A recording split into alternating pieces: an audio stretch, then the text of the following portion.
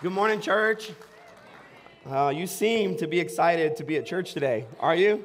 What a, what a great day. What a great day. Um, I probably shouldn't do this, but I want to give some shout outs because I'm just so excited about just a whole bunch of things. And I was looking around during worship and just kind of making a, a little list. It began in, as a mental list, and then I turned it into an actual list. Um, I don't know if you uh, even knew who Joseph was when he came out up uh, to close worship. Uh, Joseph's a freshman at Oaks Bible College. He's home for Christmas, and I'm, I'm just thankful for Joseph Joseph and all of our college students who are home for Christmas. we're, uh, we're glad that you're off following God's plan for your life, but we sure do love when you come home. Um, I also want to give a shout out to Santa and Miss Claus, who, uh, of all the churches, they decided to worship at Harvest today, right? And uh, if you didn't get your picture or your family picture, your kids, however you want to do it, uh, I think they'll be available after service as well. We'll do pictures uh, for you. Uh, I told Juliet after baptism, I said, it's not every week that you get to get baptized and then congratulated by Mr. and Miss Claus. That was pretty, pretty awesome. Uh, I got to give a shout out. Uh, there was, there's so many things happening. So if I don't pick your ministry, just forgive me. But I stopped by this week after Adultish. Adultish was going on, and I, I stopped by. Uh, that's our young adult ministry, and they had 28 at young adults on, on uh, whatever night that was, Wednesday night and uh, just i just had to give a shout out because it's just exciting and neither of these people will be happy that i call them out but uh, it is so good to see loretta here today and to see ross here today and uh, if you don't know their stories, you can go ask them, but they are cancer survivors. God is working in them. And uh, it's pretty awesome. Uh, and this won't sound spiritual, but I promise you it was. I got to give a shout out to Julio for introducing me this week to the most amazing uh, barbacoa tacos in the city. And so. Um, If you would have had those tacos, you, would, you would, it would have been a spiritual moment uh, for you. um, I want to tell you about something before we get into today's uh, message. Um, you might have noticed a lot of people wearing the I Have Decided uh, shirt that we give away uh, for baptism. We actually emailed um, everyone who got baptized in 2023 and asked them if they would wear their shirt uh, today. In fact, if you're wearing your shirt and you got, ba- or even if you're not, if you got baptized this year, would you stand up for just, just a second? They're not all in the room, but a bunch of them are. so awesome. So awesome. Today was our 11th baptism service of the year. Um, if you don't know, when you're ready to get baptized, come tell us, one of our pastors, and we just schedule a baptism. We don't, we don't wait, we just do it. And so today was our 11th baptism uh, service, and our Juliet was our 29th person to, to make a decision to follow Jesus in 2023.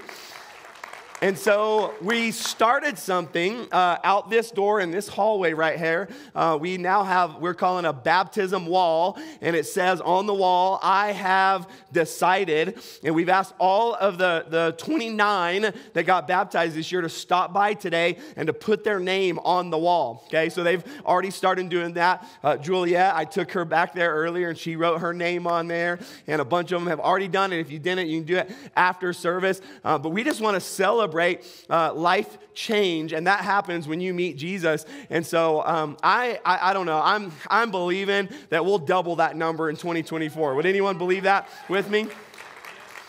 So, so exciting. Connected to that, I, I checked another number uh, just this morning. Every Sunday, uh, in fact, we'll, it'll happen today, uh, we will give you an opportunity to ask Jesus into your life as your Lord and your Savior. And if you do that, we're going to tell you about a book that we'd love to give you. It's called Following Jesus. It has some next steps for you to, that'll help you uh, in your journey of following Christ. And so, just for fun, Lisa and I this morning, we checked. Uh, we started this in March of this year, so not even the full year, but we've given 87 copies of this away this year. Isn't that awesome?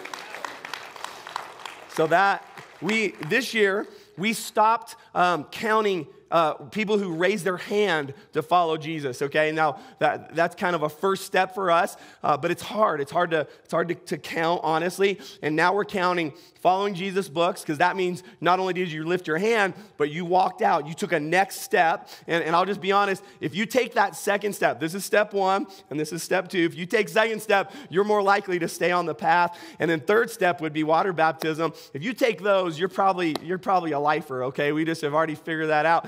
And so we just wanted to celebrate what God's doing at Harvest. Is that exciting to you? Okay. I hope so. I hope so. So, hey, Dream Teamers, especially, I know our party is coming up this week. You don't want to miss it. It's going to be epic. It's going to be our best one ever. Um, but I thought of this as we were putting the baptism wall up um, in the various areas that you serve. I know you love what you do, but I also know there's weeks that are harder and weeks that are easier. And on the hard weeks, this is my advice to you just take a stroll down that back hallway, walk past the baptism wall, read some names, and remember why you're doing what you're doing. That's literally why we're here as a church, okay? All right, ready for today's message? All right. We are in a series right now called Adore. Uh, it's a series all about worship. The word adore means to love and to respect someone deeply. That's what adore means. Um, this week, uh, right here on the front row, Liz and, and her son Thor and their little cute, adorable baby Gracie, they stopped by the church to, to visit us. And we love when they come and they visit us. And uh, we were just chatting and talking. And Lisa reached out and was kind of showing some love to baby Grace. And she looks at me and she says, Oh, Jason, have you felt Gracie's sweater? It's so soft. And she, then she said this She's so adorable. She's so adorable. That's, we use this word, adore, right? Like it's just, it's, a, it's an expression, like it shows love. And, and the question we're trying to answer in this series is really, it's really simple. It's who or what do you adore? Who or what do you adore? Because who you adore is who you will worship. Because you're going to express that love, which is worship. That's our, our definition during this series that worship is simply expressing your love. You can do it a lot of ways. You can do it through your words. You can sing, you can clap, you can bow, you can lift your hands, you can play an instrument, you can do all kinds of things as worship. But who you adore will receive your worship. By the way, that is the central message of next week's um, service on Christmas Eve. We're going to have, you, are not going to want to miss it. We're going to have all our kids in here. They've been practicing, They're, they got a great little program planned. I'll be preaching an illustrated message that'll talk about this idea that who you adore receives your worship. We're going to do a candlelight. Um, the part you really want to know about is um, that we're having donut holes next Sunday, okay? So we did cookies today. We're doing donut holes uh, next Sunday. I know now you're ready to come. Um, that's what we're talking about next week. What a perfect time to talk about worship as we approach the Christmas season, which, by the way, I've been giving you updates along the way. This is mainly for the men because uh, you tend to forget these things. But as of today, eight days. Okay, eight days till Christmas. If you haven't started shopping, Go home today and do it. Okay, get it done. Don't be that guy that your gift didn't make it in time because I have warned you and your wife will tell you. Pastor Jason warned you, okay? Worship is central to the Christmas story. Today, we're going to look at the Christmas story in the Gospel of Luke in chapters 1 and 2. And I just have to tell you right up front that oh, this is a little bit ambitious today to tackle such a large amount of scripture, but I think, I think we can do it. Do you think we can do it? Well, I think we can. If not, we'll just stop somewhere along the way and Holy Spirit will do what He wants to do, okay? Uh, let's do this. Let's pause. Let's pray. I'm inviting, I want, I want you to invite the Lord to talk to you personally today. When we open His Word, He talks to all of us. There's a cohesive message for His church, but I believe that there's a message for you, for your family. Uh, and so, one of the things we do is we just prioritize this moment by pausing and asking the Holy Spirit to illuminate His Word in every one of our lives. So, are you ready to pray that? Let's pray it. Jesus, we're so thankful for the Christmas season. We have so much to celebrate. But this moment right now is so important to us that we wanted to pause and we want to make sure that we're ready, that we're ready to hear your voice today. Lord, speak to us today. all across this room. And while you talk to the group of us, will you talk to each and every one of us individually? In Jesus' name, we pray. And you said, Amen. I have a question for you. Do you have a favorite Christmas song? Do you have, a, uh, just show me hands. Do you have a favorite Christmas song? Okay, I'm gonna try something. I don't know how it's gonna work, okay? But if you, if you help me, it's gonna go really fun, okay? I have some gift cards that I wanna give away today to three of my favorite places the Paleta Bar, Chick fil A, and Starbucks, okay? I'm looking for three people. I don't want you to tell me your favorite Christmas song. I want you to sing a line from your favorite Christmas song. All right, Susie's ready. She's ready. So Pastor Jace is coming to you now with the microphone. Come on, Susie, you're on the worship team. This is this is easy. This yeah, is but easy. They can turn me off up there. They so- can. They can turn you off. Okay, just sing a line. Holy night, the stars are brightly shining. It is the Look at night Savior's birth. Give her a hand. Which one do you want? Paleta? All right, that, that's right. Uh, I saw Sandra's hand second. That's the second hand that I saw. She's back in that corner. Were, were you serious, Sandra? I called you out, so now you are. All right, hey, that was good. Y'all sounded awesome. She sounded awesome. You helped her. Is it okay that that's also my favorite song? And I Yeah. told them that's my Yeah, song. but now it's a battle of who did it better.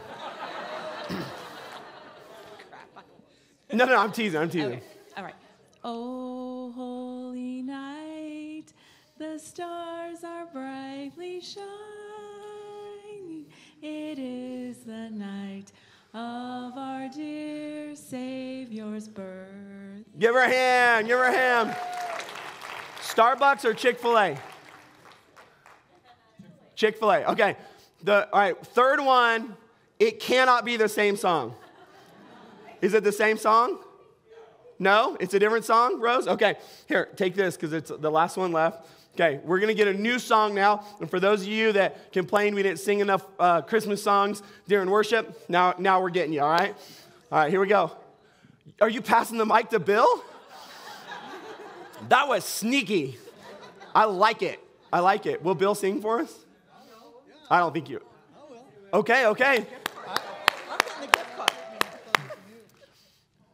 Our favorite Christmas song? Yeah.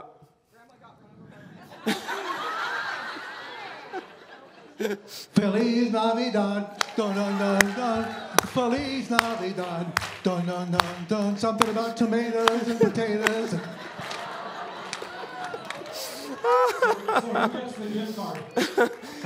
Bill gets a gift card for sure, for sure, for sure. All right, give Bill a hand. oh, oh, so much fun, so much fun. Uh, here's, here's the top five Christmas songs of 2023 according to Spotify, okay, in descending order. Number five is Santa uh, Tell Me by Ariana Grande. Number four, Jingle Bell Rock by Bobby Helms. Number three, Rocking Around the Christmas Tree by Brenda Lee. Number two, Last Christmas by Wham, okay. And then number one, are there any guesses? Mariah Carey. All I want for Christmas is for Mariah to stop singing Christmas. I'm teasing. Mariah Carey, Mariah Carey. All right. Why are we talking about Christmas songs? The Gospel of Luke records what I believe are the original Christmas songs. In Luke 1 and 2, we read about Elizabeth and Mary and Zacharias and Simeon and the angel Gabriel and the angelic host, and all of them worship in song. Okay, that's what we're going to look at today. These are the original Christmas songs, and as we look at these songs, we learn a lot about worship. The birth of Jesus is foretold in Luke chapter 1, verse 26. An angel by the name of Gabriel comes to Mary in Luke 1 31. And there's, here's what the angel says You will conceive and give birth to a son, and you will name him Jesus. He will be very great, and he will be called the Son of the Most High. The Lord God will give him the throne of his ancestor David, and he will reign over Israel forever, and his kingdom will never ends. What an announcement. But as you probably know, because you know the Christmas story, there is a problem. Mary is a virgin. So, according to the natural laws, uh, there's no way that she's going to be pregnant. But Gabriel has an answer in verse 35. The angel responds to Mary The Holy Spirit will come upon you, and the power of the Most High will overshadow you. The baby to be born will be holy, and he will be called the Son of God. What's more, your relative Elizabeth has become pregnant in her old age. People used to say she was barren, but she, was con- but she has conceived a son and is now in her sixth month. And I want you to pay attention to verse 37 for the word of God will never fail. I I have to pause for just a moment because every once in a while, as I'm studying scripture, getting ready for a Sunday, uh, I'll be reading through a passage, and it just seems like the Holy Spirit is highlighting a, a word or a phrase or, or, or, or, or a verse. And, and, and this happened this week as I reread the Christmas story. When I came to this line, for the word of God will never fail. And I just sensed in my heart that the Holy Spirit wants to remind someone that's here today that the word of God will never fail. I don't know what you've been holding on to. I don't know what you've been believing for. I don't know if today is a exciting day or if it's a difficult day. I, I don't know, but I just sense that the Holy Spirit, this, this is what you are going to receive from today's message, is a reminder that the Word of God never fails. A few days go by, and Mary goes to visit Zechariah and Elizabeth, and something happens. When Mary walks in, the child who is inside of Elizabeth, who, by the way, is John the Baptist, who had a very important task on his life, he was to prepare the way for the Lord. And, and, and what happens is Mary walks in and she has Jesus in her womb, and Elizabeth has John the Baptist in her womb, and Mary walks in, and the baby inside of Elizabeth jumps for joy. Let me show it to you in uh, verse 42. Elizabeth gave a glad cry and exclaimed to Mary, God has blessed you above all women, and your child is blessed. Why am I so honored that the mother of my Lord should visit me? When I heard your greeting, the baby in my womb, watch this, jumped for joy. Here's what I want to point out about the Christmas story today. Every person who encountered the Christmas story reacted to it with worship, okay?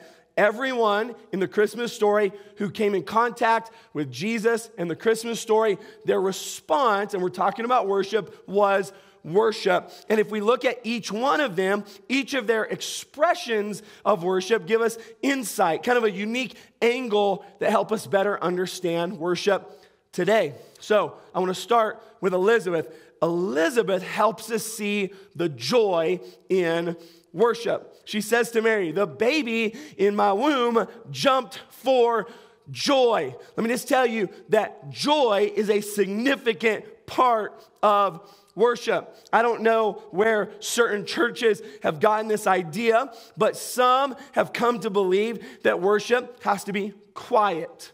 It has to be respectful. They get offended at things like clapping and shouting, or, or some even singing. But as we study the scripture, as we read the Bible, not just here, but all throughout the Bible, we find that this is far from the truth. And here in the Christmas story, we get a glimpse of the joy that fills our hearts as we worship. Now, here's the deal in most parts of our lives, we get excited we become joyful, and we are not afraid to get loud to express that joy. Okay? I, I, did a little research, it might help you.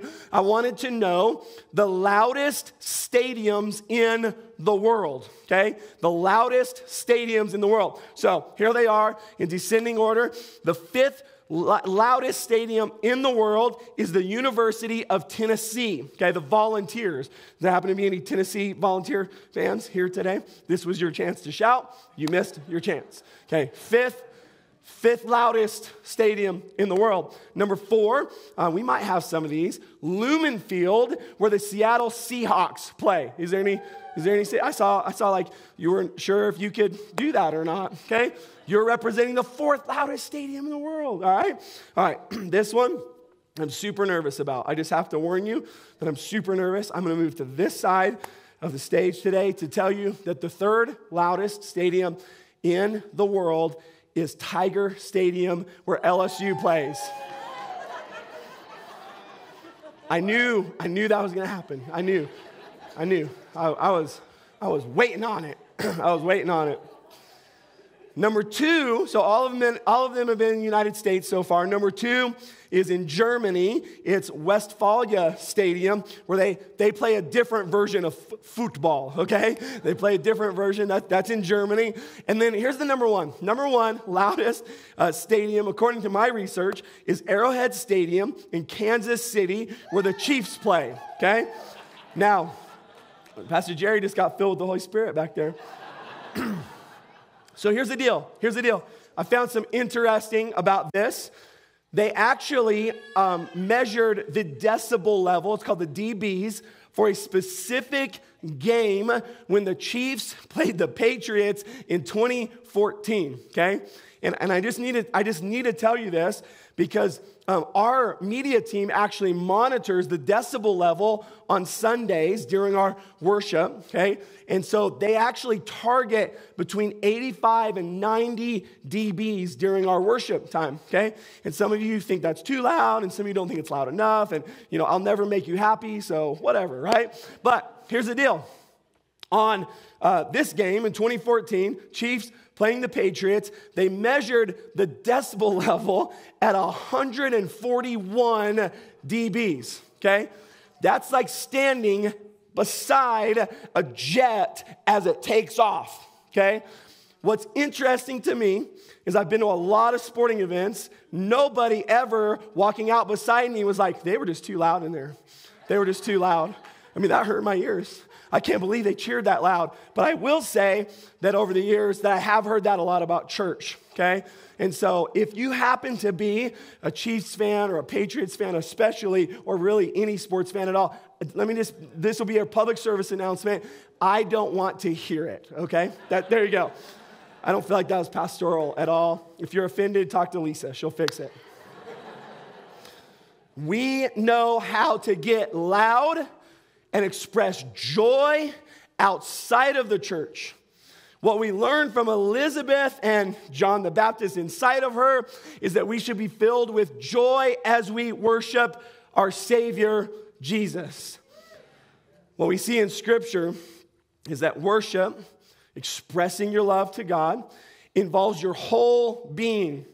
When we respond to God through worship, we respond mentally, physically, spiritually, and emotionally. We respond in all of the ways as we express our worship. Psalm 47, verse 1 and 2 says this Clap your hands, all you nations. Shout to God with cries of joy. For the Lord Most High is awesome, the great King over all the earth. Here's my question for you today How do you respond when you get excited? About something when talking about sports, but maybe there's another area of your life. How do you get ex- how do you express yourself when you get excited and you're filled with joy? What does that look like? And here's my challenge to you. Could you give God just a little bit better than that? whatever, whatever it is that gets you excited, could you give God just a little bit better? He's not offended that you cheer for your sports team. He's not offended that you're cheering for your kids at their thing, at their performance. He's not offended that you're excited because you caught the biggest fish, way bigger than Derek's. He's not offended by that. I mean, there's, there's no, but can we give God just a little bit better than that? We have to keep moving through the Christmas story because there's so much to learn here. Um, right after this, Mary responds with a song. Okay, this is an original Christmas song. I'm not going to sing it to you. I'm going to tell you, you're welcome. I'm going to tell you what we learn from Mary first because I think it'll stand out as we read her song. Mary helps us to express our trust in worship. Here's her song Oh, how my soul praises the Lord how my spirit rejoices in God, my Savior, for he took notice of this lowly servant girl, and from now on all generations will call me blessed. For the mighty one is holy. He's done great things for me. He shows mercy from generation to generation to all who fear him. His mighty arm has done tremendous things. He's scattered the proud and haughty ones. He's brought down princes from their thrones and exalted the humble. He's filled the hungry with good things. He sent the rich away with empty hands. He's helped his servant Israel and remembered uh, to be merciful. For he made this promise to our ancestors, to Abraham and his children forever. Mary helps us express our trust in the Lord. Think of some of what she said in this song. Um, he took notice of me. I, I, I define that as I can trust him, right? He took notice. I can trust him. He's done good, great things for me. I can trust him. He shows mercy. I can trust him. His mighty arm has done tremendous things. I can trust him. He's scattered my enemies. I can trust him. He has helped me. I can trust him. He has kept his promise. I can trust him. One of the things I love about worship is that no matter what's happening in that moment of my life, and no matter what's happened in the moments leading up to that worship moment, is that as I worship, I can remember that God is faithful, and I'm reminded that I can trust Him. So you might be here today and you might be sick. You can trust the Lord. You might be here today and you might be worried about something. You can trust the Lord. You might be here today and you might be discouraged. And I just want to remind you, you can trust the Lord. We prayed it over Juliet right before she got baptized that the Lord would mark her in a special way and that for the rest of her life, He's never going to leave her. The scripture says, I'll never leave you nor forsake you. I'm just, I want to remind you today that you can trust the Lord. Worship helps us express our trust of God. In the next set of verses, there's another baby that's born. This is Elizabeth and Zachariah's baby. Um, we, we didn't read it because we just don't have time for it today, but it's also in Luke chapter 1. And what happens is an angel comes to the dad, to Zachariah, to tell him that they're going to have a baby. But Zachariah doesn't believe it because Elizabeth and him are old. Let me just ask you a question Have you ever doubted a promise that God has given you? In other words, God gives you a promise. You're, you're in prayer, you're in worship, you're at a service. The Holy Spirit speaks to you, He gives you a promise, and you rationalize why that promise can't happen. Has that ever happened to you? And here's Zechariah, and he's like, hey, that'd be cool to have a baby, but we are old. We are beyond the physical ability to have a baby. If that's you today, you've ever doubted a promise of God, this part of the Christmas story is for you.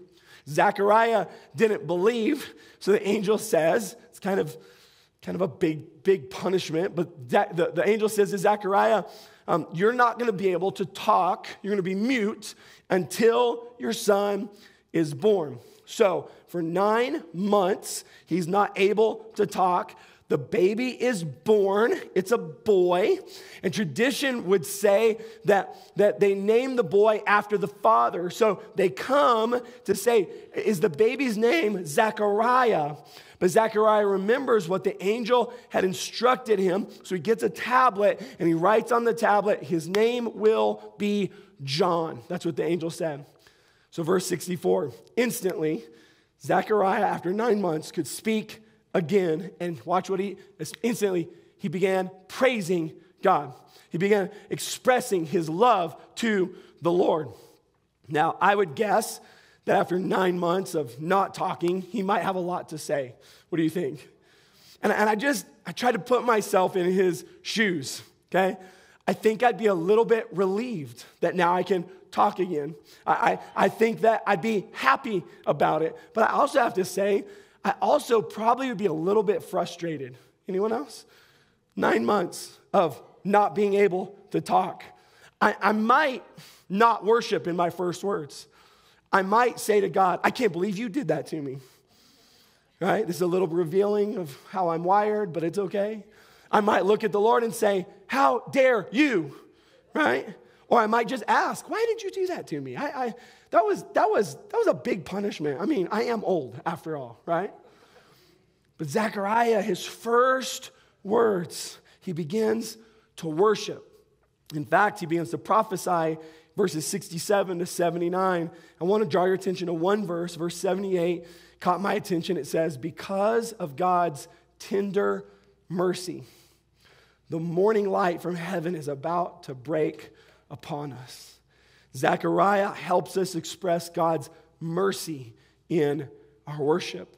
I find it utterly amazing that in Zechariah's first words in nine months, he talks about the mercy of God. I think we make two big mistakes when it comes to God's mercy and to His grace. Those, those two are almost impossible to uh, differentiate between or to separate. I think these are the two mistakes that we make is number one, we either take advantage of it in other words, we say, hey, God's merciful, I can do whatever I want, right? Or we take it for granted, right? And we just, we don't give it enough attention. We don't, we don't believe like, like in, the, in the bigness of the grace of God.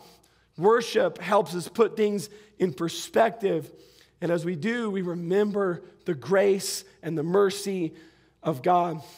I don't know who said this. I, I remember hearing it years ago that mercy is not getting what you deserve, grace is getting what you don't deserve.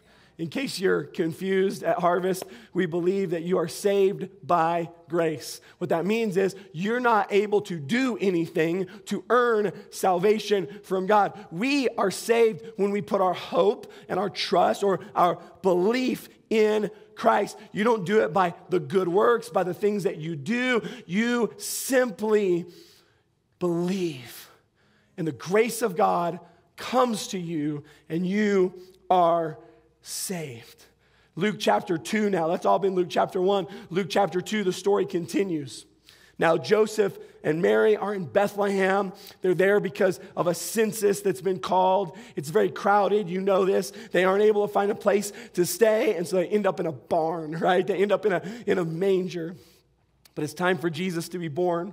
So Mary gives birth. Scripture says that she wraps him in some strips of cloth and she lays him in a manger. Luke chapter 2, verse 8.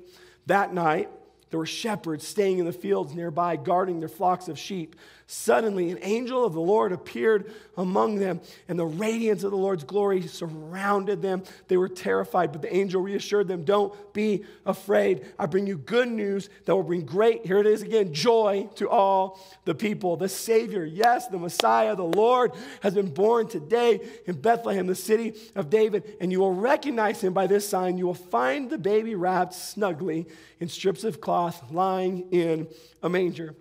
Verse 13 Suddenly, the angel was joined by a vast host of others, of more angels, the armies of heaven. And what are they doing? They are worshiping, praising God. Here's what they say Glory to God in the highest, and peace on earth to those whom God is pleased.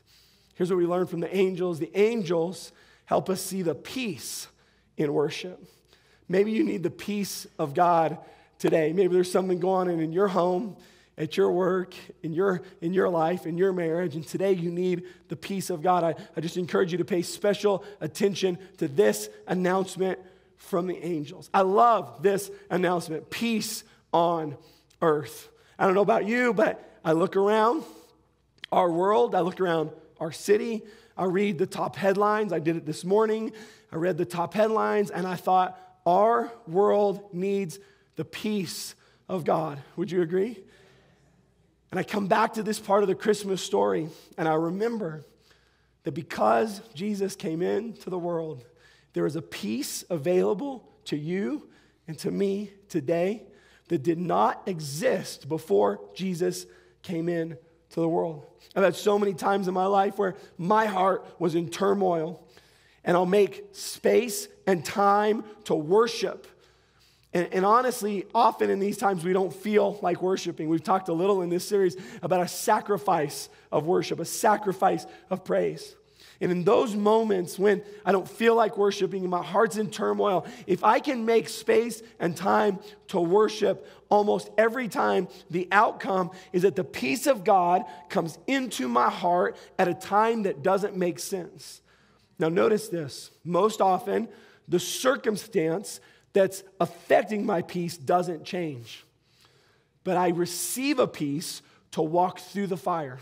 I receive a peace to go through the, the turmoil. I receive a peace that strengthens me for the battle that I have to get through. Jesus has always had the ability to bring peace into these times in our lives. In Mark chapter 4, the disciples are in a boat with Jesus. And you might know this story, but what is Jesus doing? He is sleeping, right? Which, by the way, that's the epitome of peace, right? Jesus isn't worried, he's taking a nap. A storm moves in. In fact, the scripture calls it a furious squall. And the disciples are freaking out. So they wake Jesus up. They, they wake him up and they say, Don't you care? Have you ever felt that way about Jesus in your life? Don't you care? Mark 4 39, Jesus got up he rebuked the wind and he said to the waves, Quiet, be still. And right then, the wind died down and it was completely calm. Can I just tell you today that Jesus can still do the same in your storm of your life? In the storm in your family, in the storm in your marriage, in the storm in your home, in the storm in your I'm just telling you, this is what this is what the Christmas story is all about. And we learn about this from the angels and their worship. Go back to the shepherds, Luke chapter 2, verse 15. When the angels had returned to heaven, the shepherds look at one another and they say this. I love it. They say, Let's go to Bethlehem.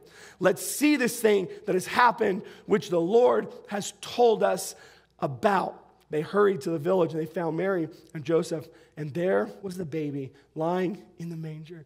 After seeing him, the shepherds told everyone what had happened and what the angel had said to them about the child, and all who heard the shepherd's story were astonished. But Mary kept all these things in her heart, and she thought about them often. The shepherds went back to their flocks, glorifying and praising God for all they had heard and seen. It was just as the angel had told them. I was reading the Christmas story again. And as I read this part, I thought this I thought, I like the shepherds. I like the shepherds. And, and I'll tell you why. They're doing their job. An angelic host shows up, announces Jesus' birth. The angels leave, and the shepherds look at one another and they say, Let's go, right? Let me just tell you, in following Jesus, you need some people in your life that'll look at you in those divine moments and go, Let's go.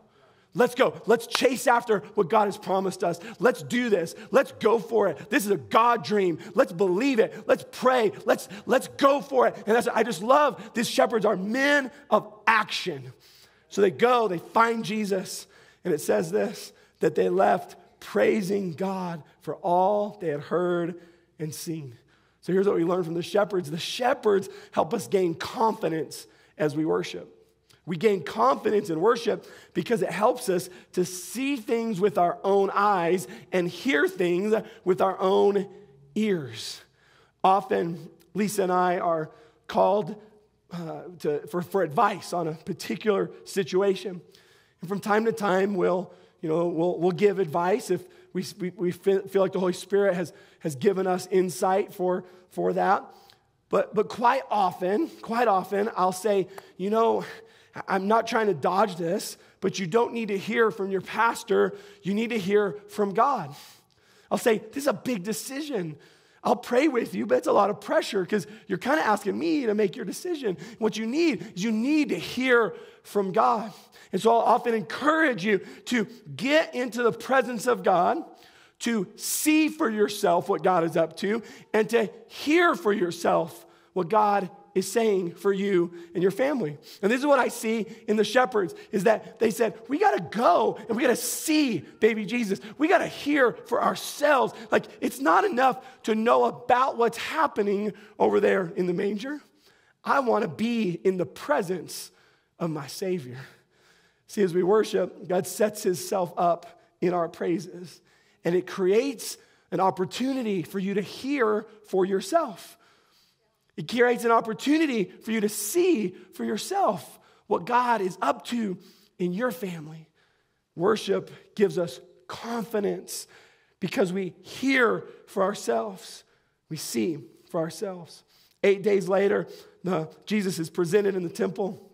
There's a man there by the name of Simeon, and uh, Simeon had been told by God that he would not die until he saw the Savior, the Lord, the Messiah. Luke chapter 2, verse 27. So when Mary and Joseph came to present the baby Jesus to the Lord as the law required, Simeon was there. He took the child in his arms. Here's more worship, more worship. And he praised God. Again, Simeon encounters Jesus, and his, his expression, his response is to worship. Simeon helps us not to give up in our worship. Simeon had held on to a promise for a long time, but he did not give up. I know that there are some of you in the room today who have held on to a promise of God for a long time.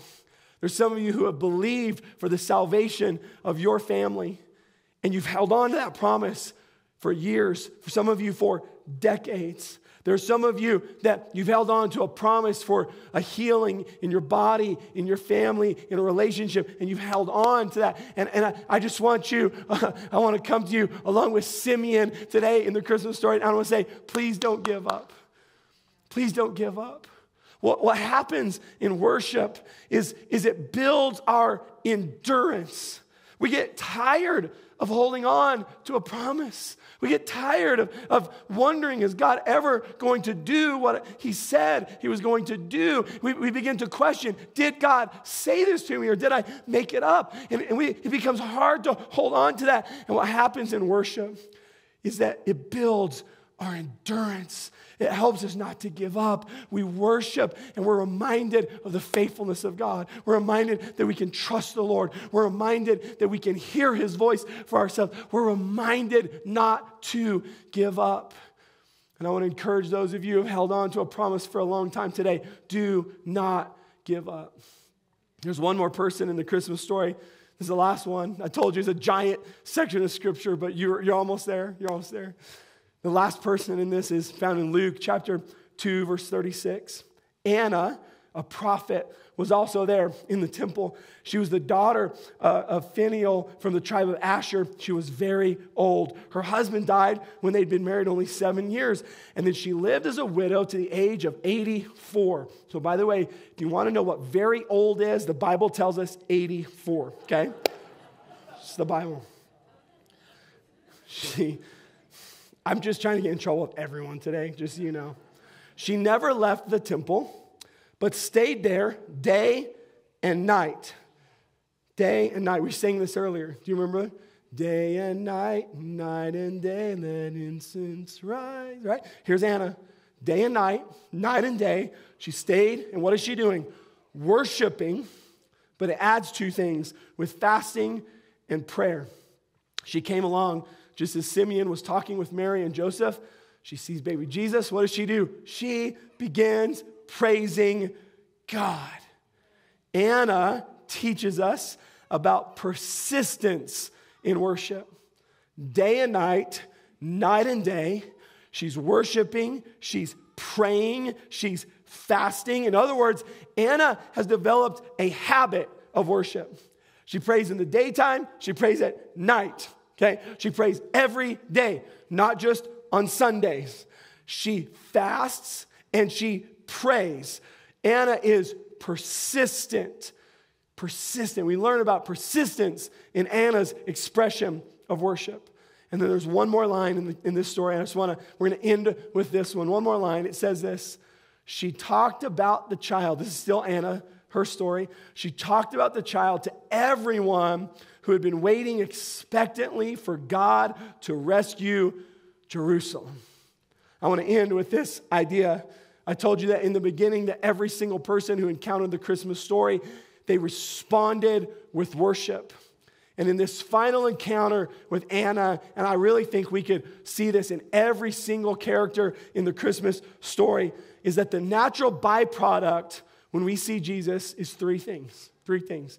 And this is why I hope happens to you and to I today and next Sunday as we come face to face with the Christmas story. When you encounter Jesus, number one, he changes us. He changes us. Just, just real quick, how many of you can look back at your life before you knew Jesus and you can assess your life now and you say, I am different than I used to be. Anyone? Anyone? Okay, this is a better question. How many of you knew your spouse before they knew Jesus, and now you know them after Jesus, and you can testify that they are different, right?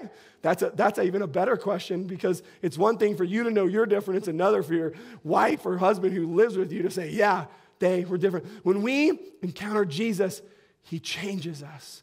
I love 2 Corinthians chapter 5, verse 17 that says, The old is gone and the new has come. You're a new creation. When you encounter Jesus, and in a few minutes, you're going to have a chance to do this. Maybe you're here today and you don't know Jesus, or maybe you knew him, but you decided to walk away. And today he's standing there with open arms. He said, Come on back, come on back. It's okay. I love you.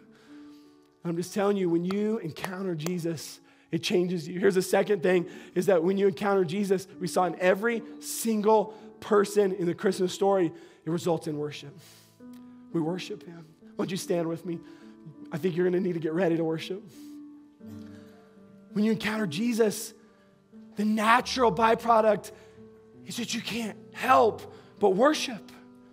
As you remember what he's done for you, how he's changed you, how he's saved you, how he's helped you, how he's provided for you, how he's rescued you. How I mean, all the, the, the expression is just I can't I can't help but but worship. So we're going to do that in just a minute. And here's the last thing. This comes straight out of Anna's story. It says she talked about the child to everyone. She talked about the child to everyone. Here's, here's what happens when you encounter Jesus you can't stop talking about Jesus. You can't stop talking about Jesus. One of the reasons I wanted all my 29 friends to wear their I have decided shirts is because if you know these people, you know that these are the people that can't stop talking about Jesus. They can't, I'm just telling you, if you're around any, any of them, they can't stop talking about Jesus. I'm just gonna pick on her because she's on the front row, but Kayla is one of those. I'm literally looking across the room as I'm saying this, and so many of our ladies are pointing Kayla out as I'm saying this, because that's her. She can't stop talking about Jesus. When you get excited about something, you talk about it. Am I right? All right? You, you find a, a movie you like and you talk about it. You find a restaurant you like, you talk about it. You find a book you like, you talk about it. I'm just telling you, some of us, Christmas needs to remind us of our love for Jesus. Because some of us have stopped talking to everyone about Jesus. I said earlier, I said, we baptized 29 people. Do you think we can double that number in 2024? Can I tell you? Uh, Kayla's saying triple it. Do I hear a quadruple? Do I hear a quadruple? Can I, te- can I tell you how that happens? It's, it's not that the worship team gets better. It's not that my preaching gets better. I mean, there's no hope for that anyway. It, it's, it's not giving out more food at food pantry. It's, it's not these things. It's really this simple. It comes down to you telling your friends and your family what Jesus has done in your life. Can I tell you, um, it's not your responsibility to save people, it's your responsibility to tell people and then let the Holy Spirit to do what He's done in you in their life. How many of you would commit right now that in this Christmas season and even into the new year, that you will be a little more bold in telling people about Jesus. Would, would anyone do that? Would you do that? Awesome. We're going to worship right now. Worship team's going to help us. I think you're going to have a pretty easy time worshiping after we've learned about worship. And I would love for you to think about these different expressions of worship that we see in the Christmas story. And I don't know which one you need most in your life, but just grab a hold of that. Then I'm going to come back at the end and we're going to close in prayer. Worship team, come. Let's give God our best.